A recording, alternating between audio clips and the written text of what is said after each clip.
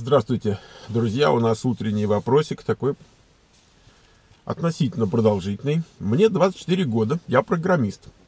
Живу и работаю в небольшом городе. Работы тут не особо много, как и специалистов. Все едут в Москву. Но мне повезло, я нашел замечательную работу и занимаю хорошую должность. Компания маленькая, но зато я чувствую свою значимость. На мне многое держится. Начальство мной очень довольно и держится за меня, регулярно улучшая мои условия труда. Так вышло, что несмотря на молодой возраст, я уже успел поработать в шести разных компаниях. Обстоятельства от меня независящие складывались так, что я вынужден был менять места работы, и проработать на одном месте удавалось не более полугода. Я очень не любил те чувства, которые испытывал при переходе на новую работу. Новый коллектив, постоянное ускорение, ускоренное изучение чего-то нового, технологии, подходы к работе. В каждой компании разные. При, первые несколько месяцев приходилось привыкать. А потом, привыкнув и освоившись, выходило так, что я снова должен был менять работу. Я мечтал о компании, в которой получится остаться и стать частью компании, чем-то важным, кем-то важным. Но есть в этом и плюсы. Получалось так, что каждая новая работа была более сложная, и более профессиональная, и заставляла меня расти профессионально. Кроме того, работа в разных компаниях дала мне возможность увидеть, как они устроены изнутри. Теперь мне есть чем сравнивать. В последней компании я работаю уже более года. Все хорошо, и, наверное, я бы продолжал радоваться относительно беззаботной жизни, но я стал замечать, что мне стало скучно. Мне не хватает тех ощущений, которые я испытывал, приходя в новую большую компанию. Как я боялся не дотянуть и тратил все свое время на обучение, чтобы поскорее подтянуть свой уровень и быть на уровне своих новых коллег. В итоге все чаще посещают мысли переехать, например, в Москву и устроиться в большую компанию, узнавать что-то новое. Э, я хочу работать с теми, кто умнее и лучше меня. Мне этого очень не хватает. Жена против. То есть у него уже жена в 24 года. Так, Жена против. Она не понимает мою тягу к развитию. Говорит, что нам и тут хорошо. Зарплата у меня в несколько раз выше средней. Обидно бросать все, ведь я потратил много сил, чтобы добиться всего этого. А теперь все сначала. И действительно обидно. Но что делать? С другой стороны, я стал задумываться о том, что всегда будут места, где люди умнее, зарплаты выше, и условия труда лучше. Нельзя же всю жизнь прыгать с места на место. Я знаю, что работодатели не любят таких сотрудников. Но не должен ведь я загонять себя в клетку, хоть и комфортную. Как бы вы поступили на моем месте? Что бы вы мне посоветовали? Что сказать молодому человеку? Очень похоже на нашу американскую историю это все. Еди... Да, единственное, что, скажем, там у нас не по полгода получалось, но может быть по году там или около того. Но еще язык, да, представляете, на, на иностранном языке это все. То есть к трудностям освоения на новом месте. То есть мало того, что люди разные, они там из разных мест сами, с разными акцентами говорят. Но действительно, за пару лет буквально там, э, ну, за пару-тройку лет, я профессионально поднялся на совсем другой уровень. Значит, э, у меня первая компания была почти год, 10 месяцев там я проработал. Ну, вообще, как бы первое. Хотя я там уже начал автоматизацию делать. Потом была мультимедийный стартап. Не то, чтобы я там сильно набрался этой мультимедии, но поскольку у них был такой продукт, где на один CD устанавливалось там, не знаю, 6-7 десятков других продуктов, кстати, время было, они мало места занимали. Вот. И там была система, которая защищала их на этом CD, и только по какому-то, значит, там, ключевому словечку, которое можно было за деньги получить, с этого CD устанавливался софтвер на компьютер человека. То есть это был такой try before you buy. То есть вот ты можешь попробовать там 3-4 раза запустить софтвер. Понравился, значит, купи. И вот э, там у меня появилось очень-очень широкое видение программных продуктов. То есть за тот почти год, что я там проработал, я в своих руках передержал, перепробовал, где-то автоматизировал там запуски и так далее. Ну, наверное, там сотню с лишним, там, может быть, две сотни продуктов. Ну, что-то невероятное. Вот. То есть какое-то такое видение э, приобрел большое. Потом был Борланд, там месяцев 8, там был контракт. В Борланде я научился автоматизации хорошо. Потом следующая позиция был менеджером. То есть каждый следующий э, значит, э, переход, он, он давал какой-то подъем, подъем, подъем.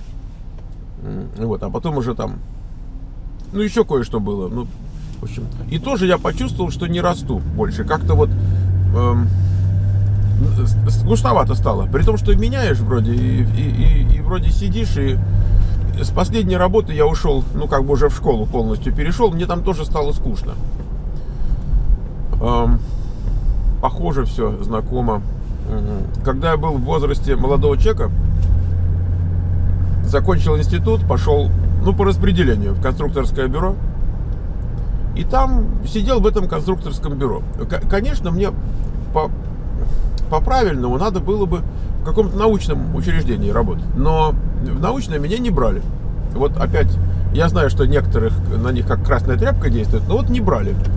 Вот Портнов Михаил Петрович, там говорят, заходите, потом смотрит паспорт, еврей, говорит, уже, говорит, не нужно. Это я, я уже прошел это во всех вариантах. Ну и, слава богу, взяли в это КБ. И я там сидел в этом КБ. А КБ такое, знаете, движения народу нет. Одни евреи, уйти некуда. Вот тыр-пыр, значит, вот и уйти некуда. И, конч... и, и тоже скучно становится. Ну сколько я там, 4 года проработал, скучно. И в итоге я не то, что там работу поменял, а я уже область совсем поменял. То есть я стал заниматься разработкой методов быстрого обучения. То есть вообще плюнул на техническую область. А мне еще говорили там люди в этом КБ, которые всю жизнь просидели. Они говорят, Миша, ты же инженер, ты же там это самое талантище, там, что ж ты делаешь, ты губишь свою карьеру, там, и туда. А как-то не прочувствовал. Короче, и так вот и ушел. Поэтому я когда читаю вот то, что парень пишет, э, прямо вот, знаете, как вспоминаю свою жизнь всю. И вот это вот еще соотношение, знаете, когда ты от контракта к контракту, от проекта к проекту э, набираешься опыта. Есть люди, которые, вот в США, например, их много, они профессиональные консультанты, то есть они никогда и не возьмут постоянную позицию. Именно потому, что на консультантской работе они, во-первых, конечно, гораздо больше зарабатывают. Давайте я на солнышко вас туда отправлю, на красивую дорогу. Во-первых, они гораздо больше зарабатывают. Во-вторых, эм, они постоянно как-то на переднем фронте, знаете. Конечно, люди, которые делают очень серьезные вещи, э, ну, скажем, программисты, там, да, э, не тестеры, но вот программисты в гораздо большей степени. Компания, если человек крут и от него много зависит, норовит иметь его среди постоянных сотрудников, потому что мало написать код, но кто-то должен и дальше развивать, и поддерживать там и так далее. Ну что ж такое, он пришел, сделал и исчез. Поэтому его постоянно как бы на это дело ну, провоцируют, переходи к нам в штат и так далее. Но если человек убежденный, идейный там и так далее, ну, значит, да. Есть компании, которые консультанту, человеку со стороны, не дадут как бы такой глубокой и серьезной работы, как, например, дадут постоянному сотруднику. Поэтому опять у них есть какие-то такие, эти палка о двух концах. Хочешь серьезные вещи делать, э, иногда консультантам не получится. Ну, в общем, надо смотреть. Но к чему я рассказываю? Есть такие убежденные консультанты, вот они так живут. И когда Светлана у меня попала в Microsoft, э, она до этого была несколько лет консультантом. Она вообще нигде, нигде до Microsoft не работала как постоянный сотрудник. Пришла, поработала там 6 месяцев, 9 месяцев, пошла дальше. И ей нравилось это. То есть э, ей нравилось, что не нужно вникать там в личную жизнь там сотрудников. Понимаешь, ты как бы как консультант ты пришел, и тебя не интересует их личная жизнь, их дети, какие-то там разговоры. То есть я пришел, поработал, пошел дальше.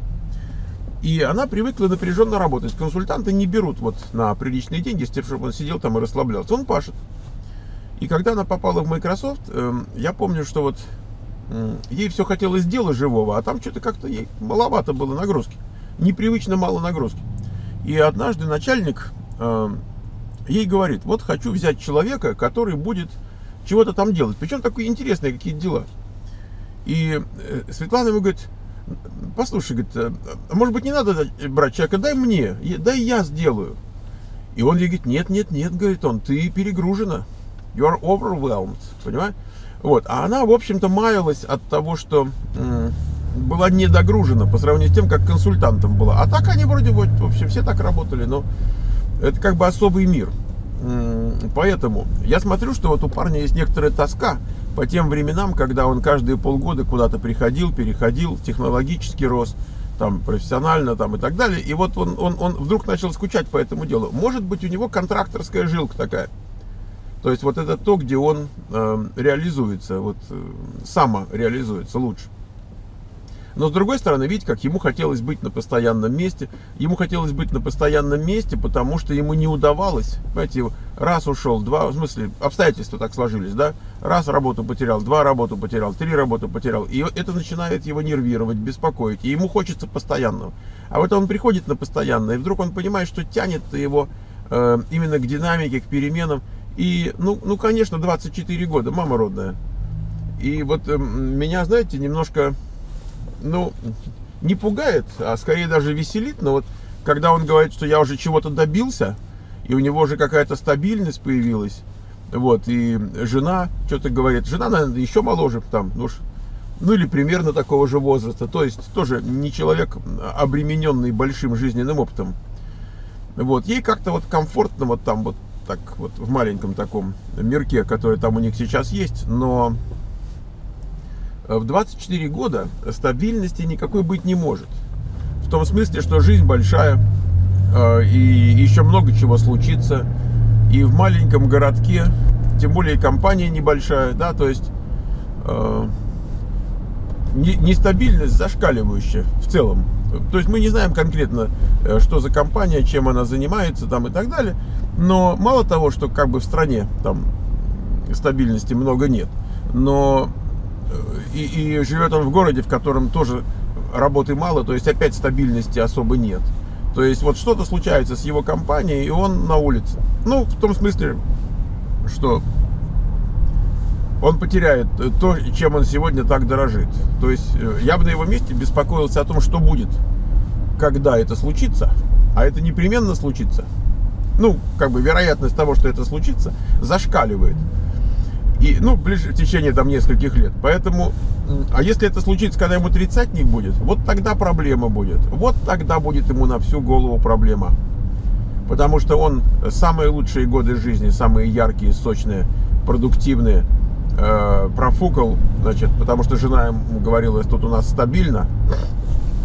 Вот, и, и все. И, и, он, и он уже никто. Ну, то есть, конечно, он без работы не останется, он там, опять же, поедет там в Москву или там в Питер, или какая-то работа у него будет, все, все правда. Но он не, не реализует тот потенциал, который у него сегодня есть. Он относительно себя потеряет. Он, может быть, относительно того, кто, э, я не знаю, из, бул, из бухгалтеров хочет в тестировщика переквалифицироваться, он относительно него будет большой гуру. А относительно себя самого сделает там три шага назад. Поэтому если это его профессия, он себя в ней как бы видит, да, он говорит, это моя профессия, тогда он должен спросить себя, что будет со мной через 3 года, через 5 лет, через 10 лет, через 15 лет, потому что э, профессия динамичная, уж, уж, я даже не знаю, есть ли на свете что-нибудь еще более динамичное, чем вот, допустим, работа программиста. Поэтому ты не можешь отставать, ты не можешь сесть на месте и сказать, ну вот вроде сижу, ты не сидишь, ты движешься назад. В том смысле, что пока ты сидишь, все уходит вперед, и ты как бы относительно переднего края, ты движешься назад. Ты не растешь. Наша способность к росту э, сильно завязана на возраст. Поэтому для того, чтобы в возрасте постарше, будучи, да, постарше, удерживаться на плаву, тебе надо в молодые годы по максимуму себя задействовать, инвестировать в это во все. Вот то, что с ним до этого происходило, вот это и должно быть по максимуму. Поэтому, конечно, э, ему надо ехать в Москву. Конечно, ему надо искать работу, э, где я не знаю насчет большой компании или маленькой. Вот, вот размер компании меня меньше всего в данном случае интересует. Э, может быть, большой как-то стабильнее, интереснее, там, я не знаю. Но искать компанию, где он сможет расти профессионально, независимо от размера. Эм, желательно, пусть это не будет первая работа у него в Москве, пусть это будет вторая там, или третья, но Э, желательно, чтобы это было связано с, какими-то офшорными разработками. Почему это важно? Потому что я думаю, что он и технологически что-то получит дополнительно для себя.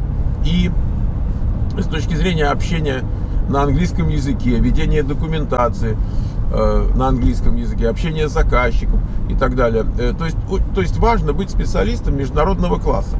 Оказавшись в Москве, он окажется не просто в Москве, он окажется ну, если как бы будет этим заниматься и интересоваться, он окажется в таком сегменте российского рынка, э, который как бы является частью международного рынка.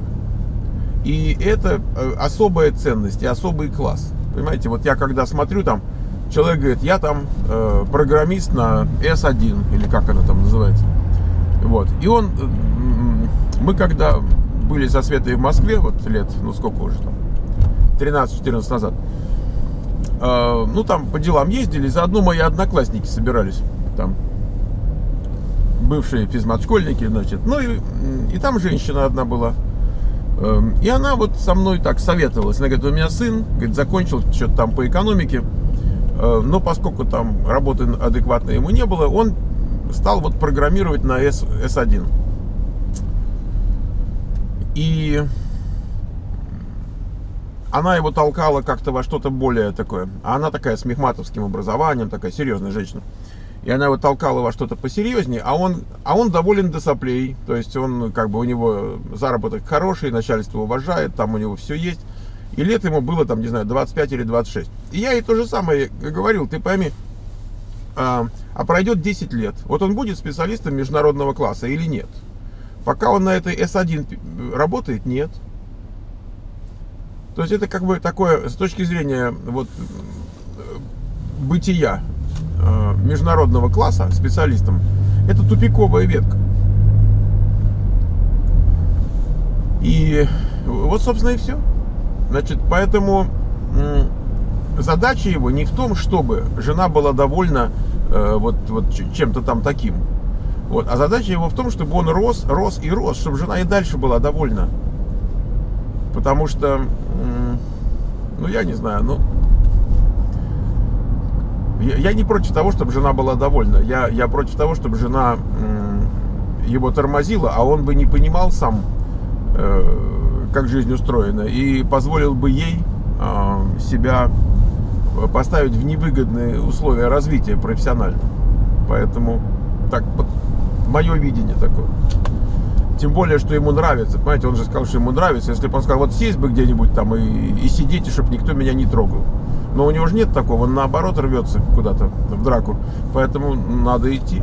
Это же, это же и для жены хорошо, и для тебя хорошо, и для детей, которые у вас когда-то будут. А, и, может быть, так вот поработает в Москве там пару лет, а и вдруг вынырнет где-нибудь там в Лос-Анджелесе или в Нью-Йорке, или вот у нас тут в Кремниевой долине. Я вчера там вступил в переписку с молодым человеком в скайпе. Он э, говорит, что вот каждый день проезжает мимо нашей школы. А нас видно, там у нас вывеска красивая, ну, красивая не назовешь, ну, большая, заметная. Вот, и он говорит, каждый день проезжаю, вот хотел зайти рассказать свою историю. Я говорю, давай свою историю. Эм, и а он в Apple, что ли, работает? Я, я не уверен. Но как-то тоже у него какая-то такая трансформация. Он говорит, что если его историю рассказывать, это минимум там два часа нужно. Я говорю, нас никто не останавливает, давай. И вот он говорит, что оказался в, э, в Кремниевой долине просто, ну вот с ничего. То есть он, он даже как-то вот так раз и оказался. И дальше какая-то жизнь пошла. Поэтому, что хочу сказать, может, может быть э, так, да, и немножко дальше Москвы можно но опять, э, существенно в этом не то, что говорит жена и, и даже родители, а существенно в этом то, с чем ты пришел в этот мир. И э, как ты самореализуешься в этой жизни. Понимаете? И на, на пути к самореализации абсолютно ничто не должно тебе мешать. Ничего хуже нет, как не самореализоваться. И, и жена вам не враг, и, и вы ей тоже. Значит, она, может быть, самореализуется через семью, через быт, через стабильность. И, естественно, женщина гораздо больше стремится к стабильности, и детей нужно выращивать, очаг семейный поддерживать. Это абсолютно естественно. Было бы очень странно, если бы она была авантюристкой и втягивала вас в какие-то жуткие дела там и так далее. То есть это тоже бывает, но гораздо естественнее, когда женщина стремится к стабильности. Она просто еще молоденькая и мыслит другими категориями. Поэтому она, она не видит еще этого. Но вы должны видеть. И как бы я, моя функция вот в том, что я отвечаю на этот вопрос, я, я вижу свою функцию в том, чтобы э, показать вам какое-то видение со стороны. То есть человека, который прошел через уже какие-то какие этапы в жизни и видит там, и больше заинтересован в том, что дальше произойдет, а не тем, что в 24 года у тебя стабильность. Эм, да.